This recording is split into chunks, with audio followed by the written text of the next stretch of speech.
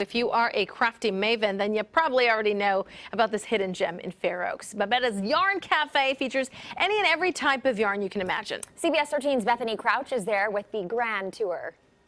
3,000 square feet of everything yarn. Got to tell you, Babetta's Yarn Cafe here in Fair Oaks is just stunning. And look at this lovely group of ladies that we've gathered here this afternoon. Okay, so Babetta, you are seeing a rise in popularity in something called Noro from Japan. What's the deal there? Well, the yarn is featured in a piece that is in the movie Black Panther. There's a certain color. I have it ordered. It's coming. I have people waiting Yay! for it. so. Her phone has been ringing off the hook. Okay, so we've got the details for the trunk show. That's coming up. Uh, we'll get that linked for you. Um, but what is it about this community that you've created here? You've been here for 13 years. Mm -hmm. Crocheting, knitting, spinning, weaving.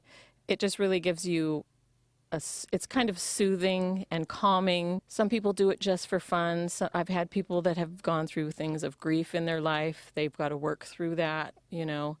And it's really helpful for that. It's a mindful meditation and it really has physiological benefits. It I increases your T cell count, it lowers yes. your blood pressure. I'm yeah. talking about boosting your yeah. immunity. Not only that, but you've got a little knitting tribe that you're hanging out with. I want to swing down to Babetta's beautiful daughter, Maya, who can we just talk about her fabulous skirt here for a second? Yes, she made it. It's amazing. Should I stand up? love it, it love it. Yeah, show that off, girl. Um, you're saying it's really beautiful for people to have this outlet of creativity. Right. I just, I really think as a human, we do need to create whatever that is with their, it's cooking, knitting, whatever.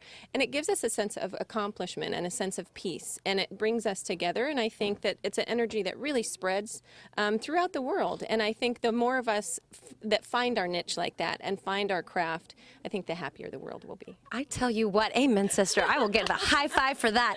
Um, we're going to get all the details linked for you. CBS13.com if you want to come check out Babetta's Yarn Cafe here in Fair Oaks. Have a great I afternoon. Can, we will. I can't wait to visit. Bethany, thank you. It's really fun. We'll be right back.